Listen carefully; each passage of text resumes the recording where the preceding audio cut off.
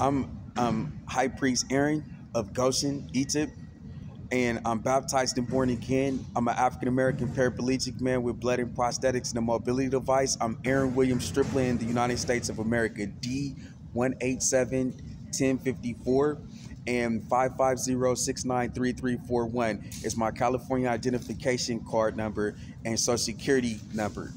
Now I'm also the chief of police Pamela Smith and I'm the chief of police Aaron Striplin and Pamela Smith over the district police. There's no difference for me in criminal minds. But these individuals killed 11 people. There's no difference from me being a chief of police and Robert Conti 3, but he killed 11 people. No difference between me being a chief of police and criminal minds, but they killed 11 people. No difference between me being a chief of police and Kathy Laner, but she killed 11 people. Now we're with the chief of police, Pamela Smith, and it's time to find out that these individuals killed these people with Trump, Obama, Biden, Harris, and Bowser. Let's look at the evidence.